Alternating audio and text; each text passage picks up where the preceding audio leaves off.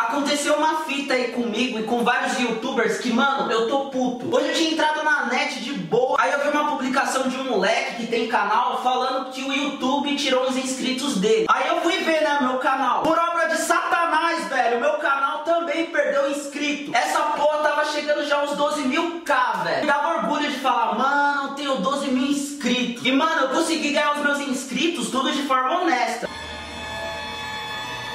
Mano, isso aí já desanima pra caralho o meu trabalho no YouTube. Além da gente correr o risco de ser hackeado por um gordinho tarado, safado da internet, a gente ainda tem que perder inscrito. Eu não tenho moral pra falar porra nenhuma, o meu canal é pequeno, só que eu fiquei puto.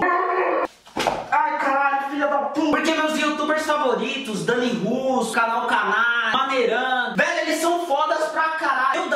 pra eles. E tipo, eles perderam inscritos também, eles devem estar tá bolados por causa disso. Velho, mano, isso é muito injusto, é maior trabalho que a gente tem no canal. E o número de inscritos são marcas de conquistas que a gente tem na nossa vida. Mano, eu não quero criticar o YouTube, não quero falar que o YouTube é uma bosta, tanto que eu vivo no YouTube, mano. É que essa merda que aconteceu atrapalha muito, tipo, já estragou a minha semana. Então, mano, era só isso mesmo, queria desabafar, fiquei muito chateado com isso que aconteceu. Mano, até peço desculpa aí por ter falado muita merda nesse vídeo, mano. É que quem é youtuber vai entender. Mano, eu nem peço o seu like ou seu compartilhamento, eu só quero que você comente o que você acha disso. Quero indicar o canal do meu amigo Luiz, porque ele também tá puto com isso. Tipo, o moleque tá boladão de pau duro. Então é isso aí, espero vocês no próximo vídeo, até mais e foda-se, mano. Caralho.